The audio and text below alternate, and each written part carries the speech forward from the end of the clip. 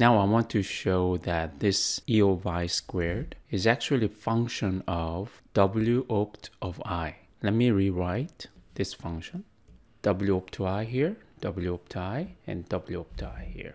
So clearly we see that this e of i squared is a function of w opt i. From your math education, you may recall this function fx equals ax squared plus bx plus c, which is a quadratic function. And this function generates a parabola.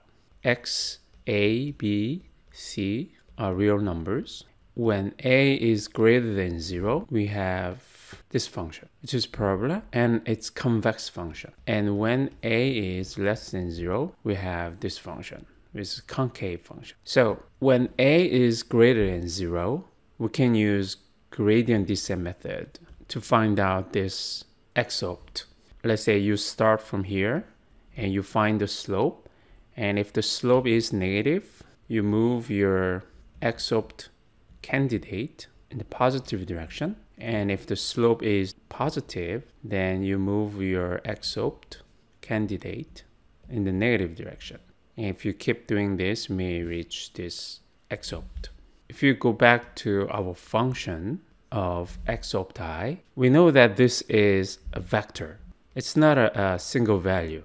But let's consider this vector as x, just like x here. Then this becomes x. This also corresponds to x, and this corresponds to x. And this value here corresponds to c, which is this one here.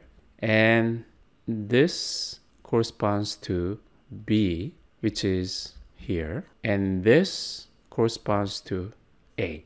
This part is actually matrix.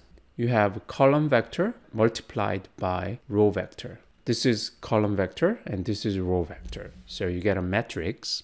If this matrix is positive definite, then our function is convex function, strictly convex function. And if, if our function is convex function, then you can use gradient descent method to find out this W opt of i. And for that, we need to find out slope, which is dE of i squared, d w opt of i. We are differentiating e of i squared with respect to w opt i, which is vector. So I need to also talk about this matrix vector differentiation a little bit in order to find this slope.